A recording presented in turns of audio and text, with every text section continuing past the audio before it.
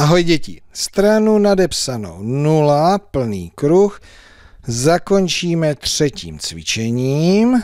Vy prosím přečtěte zadání.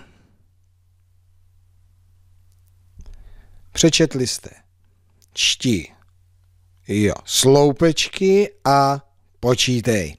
Tak, modrý sloupeček uděláme společně a za pomocí do počítadla. Takže Tři bez dvou. Tak, vemu do počítadlo matisku. Tři, ukaž mi, tak. A bez dvou dvě ze zadu ubereme.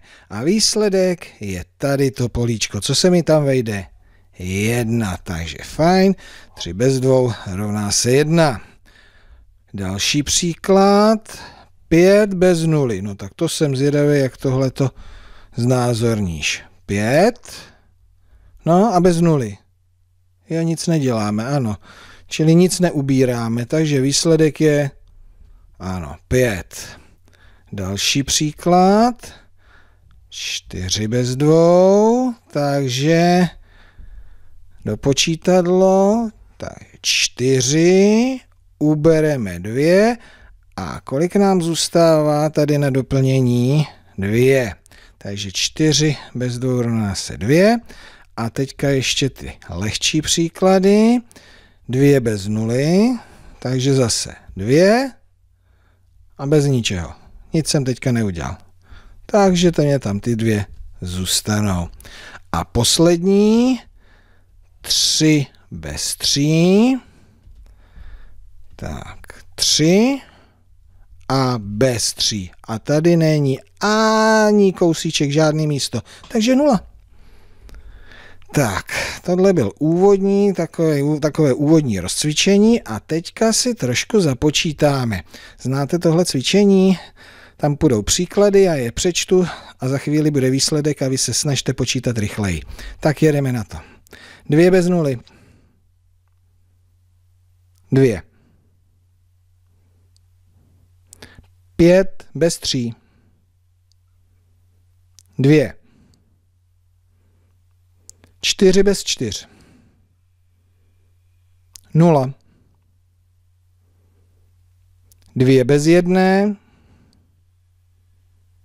Jedna. Pět bez jedné. Čtyři. Tři bez jedné. Dvě. 3 bez dvou, 1. Tak to by stačilo na rozcvičení, vrátíme se do cvičení a tentokrát to už dopočítáme. Já budu dělat takhle lanky. Vy si to přečtete, nebudu nic číst a říkejte jenom výsledky. Snažte se je říct dřív než já. Nula. Dvě. dvě, jedna, jedna, stíháte? Tak to je fajn, ale zrychlovat nebudu. Dvě, tři, tři,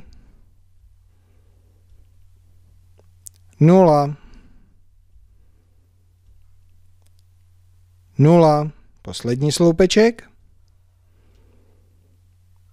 tři, nula, čtyři, čtyři, jedna. Tak, bezvadný cvičení je za náma. No a co vy? Hodně chyb? Ne, všechno v pořádku. No tak paráda, gratuluju. Počítat z hlavy, to je základ.